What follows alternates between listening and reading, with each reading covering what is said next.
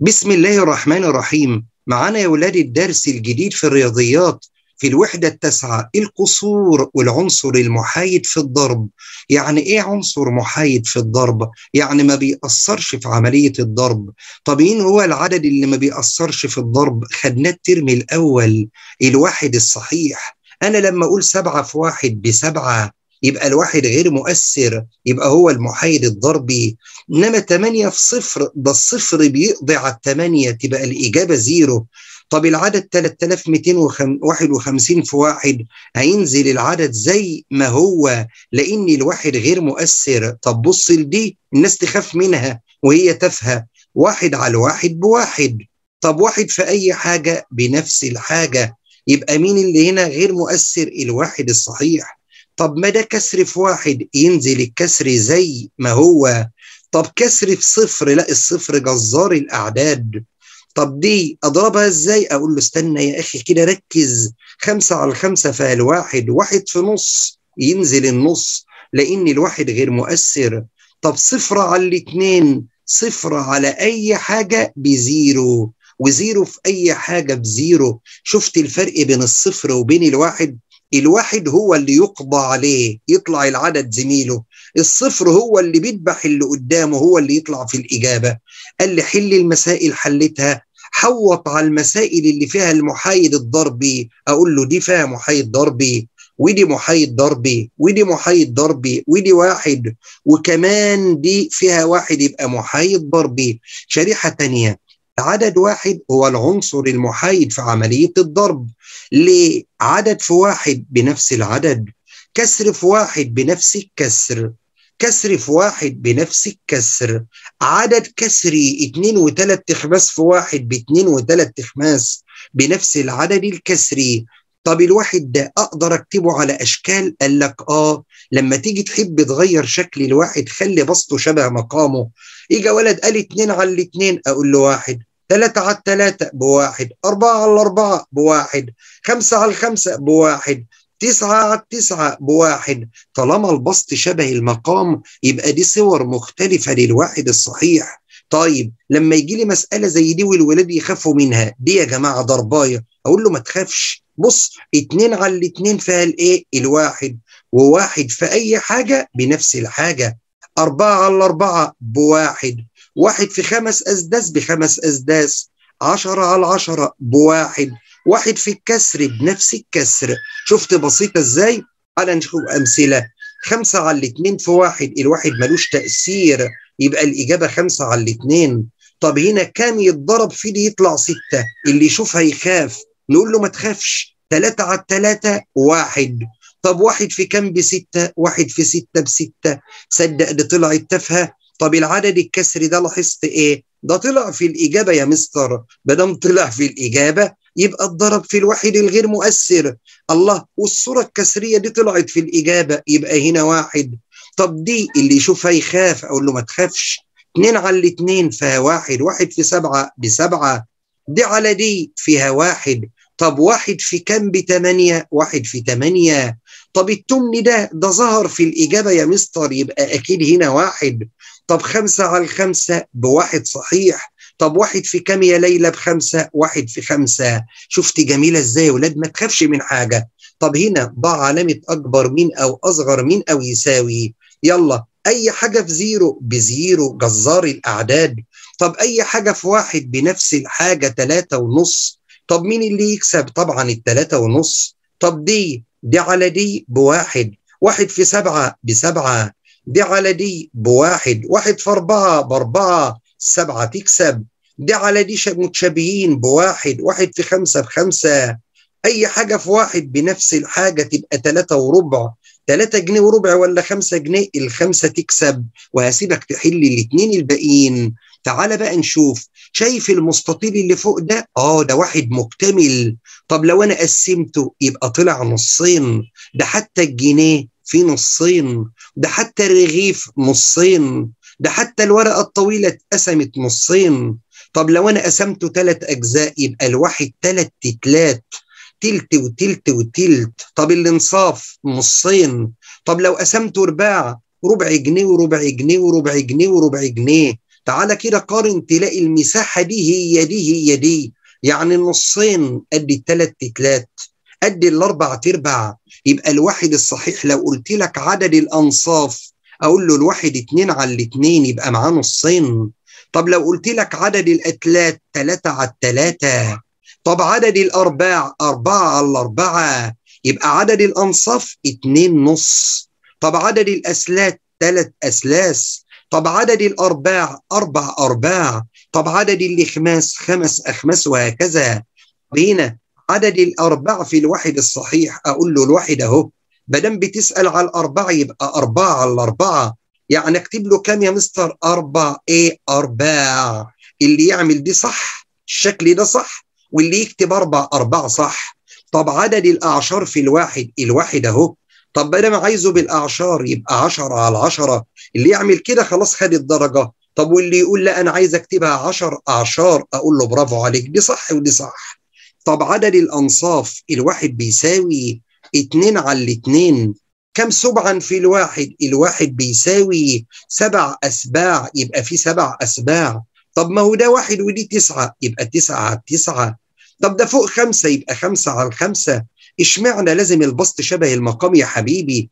ما هو ده واحد يبقى ثلاثة على الثلاثة طب ما ده واحد يبقى أربعة على الأربعة طب ما جابوا يمين يبقى سبعة على السبعة. طب دي ستة يبقى ستة على الستة. شفت الموضوع بسيط وجميل إزاي؟ ده بقى مش أكبر من وأصغر من. اللي يساوي ولا لا يساوي؟ ده واحد أوكي. دي طرحاية يبقى لازم أطرح الأول. خمسة خمسة نسيب الخمسة.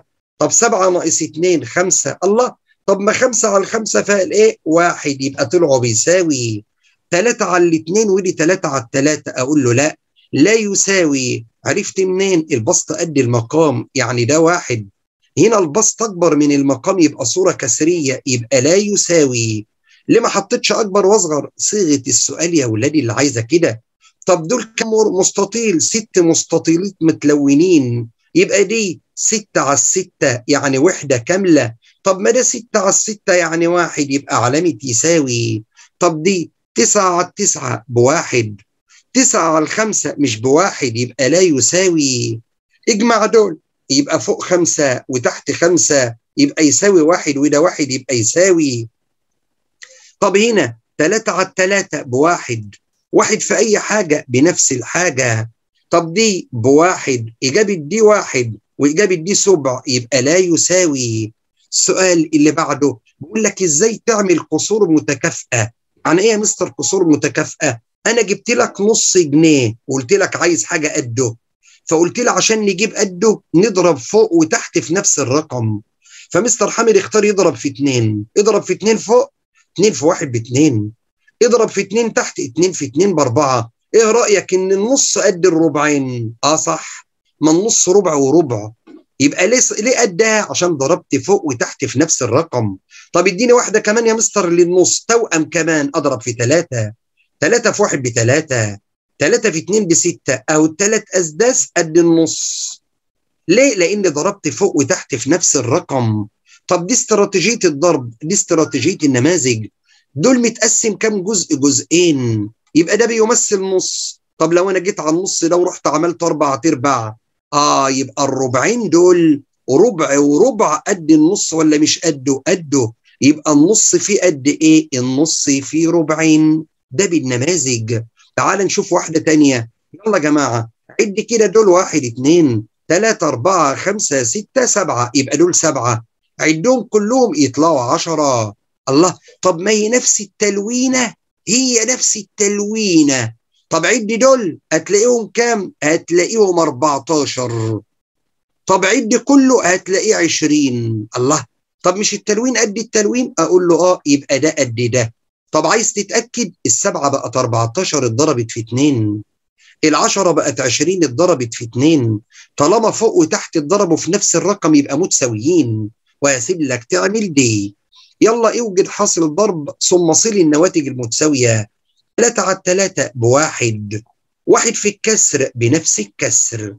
أي حاجة في واحد بنفس الحاجة عدد كسري ستة على الستة بواحد. اضربه في الخمس يطلع الخمس.